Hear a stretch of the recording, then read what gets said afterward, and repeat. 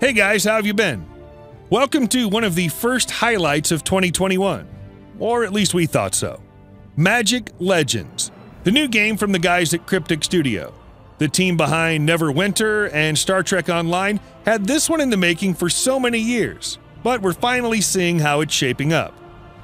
It's quite a detour from their traditional MMORPG history. Instead of opting for a hack and slash Diablo like approach after a midway change of development plans, how'd that turn out, huh? But first, let's talk about Ragnarok Labyrinth, which is sponsoring this video. This is the new game from the beloved series that has over 100 million players. This time, you get to pick from four classes Archer, Magician, Swordsman, Thief, and explore labyrinthic dungeons as you upgrade your heroes to discover new jobs. You'll get to meet and battle creatures that fans of the series will surely recognize, such as Poring, Spore, and Thief Bugs, right before you smash their faces and grab their loot. Business as usual, nothing personal. Your friends can join you in the adventure, or you can go solo if you so wish. Boss raids are part of the adventure as well. Various PvP modes, including brawls, duel battles, and PvP leagues, will test your skills. Having played the game for a few days already, I can tell that it's one of those just one more go RPGs. Give it a shot by clicking the link in the video description to see if you like the easygoing but challenging gameplay. Besides, we have a Ragnarok Labyrinth coupon code to get you started, which you're seeing on the screen right now. Grab it while it's hot. And now back to Magic Legends. Let me start by addressing the elephant in the plane optimization, or lack thereof. Wow, it's truly bad.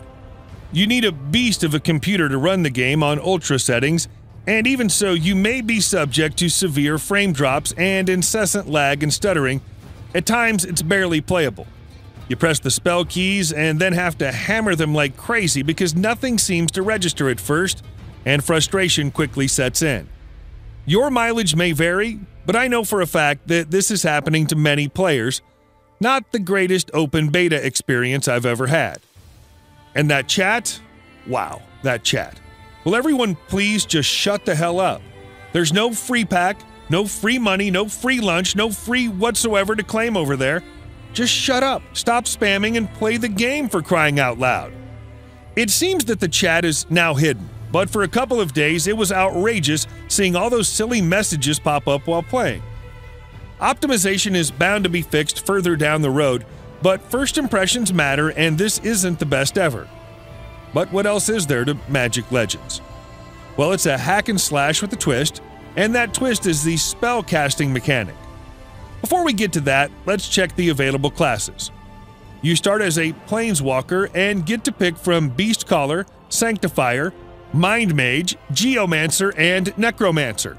Each class is based on the five schools or colors from Magic the Gathering, giving them different abilities. I went for the Beast Caller, a class that's joined by its fox pet, and has a knack for melee combat with its massive axe. As you evolve, you unlock spell cards, but the thing is that you can only choose between four cards at a time, randomly selected from a deck of 12. When you start mixing cards from other schools, you must carefully check the mana colors and the way that you can combine different spells to create powerful and surprising combinations.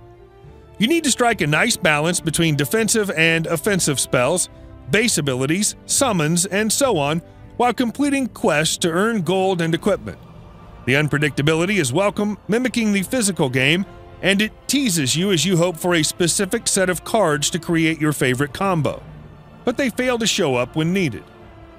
Spells are the indisputable highlight of the game, and fans of the physical card game will enjoy the most of this system, but that isn't enough to make an action RPG stand out from the crowd.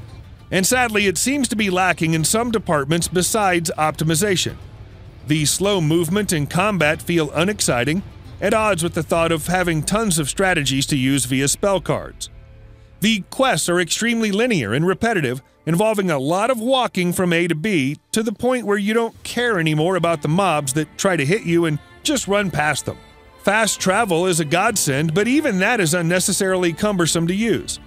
If I find one more quest where I have to align another Hedron, I'll go crazy.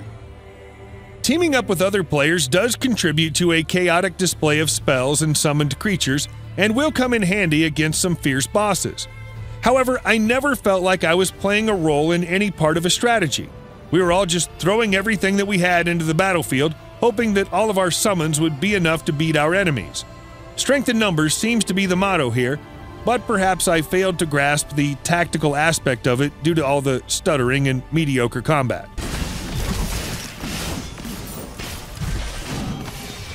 Level design is another aspect where I'm not too convinced. I could understand the uninspiring nature of the maps if they were procedurally generated, but that's not the case. As it happens, the planes just feel repetitive, with no actual landmarks to guide you or even make you feel like you're exploring a different area. It just feels samey, bland.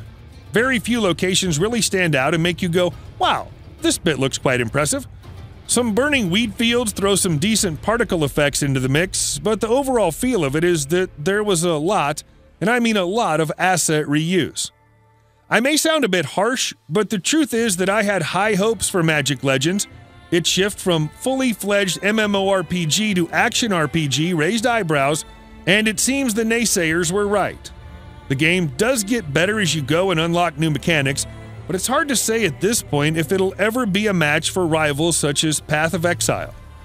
There's room to grow, and I hope that it quickly improves in areas such as optimization and combat, but the first impressions are somewhat underwhelming.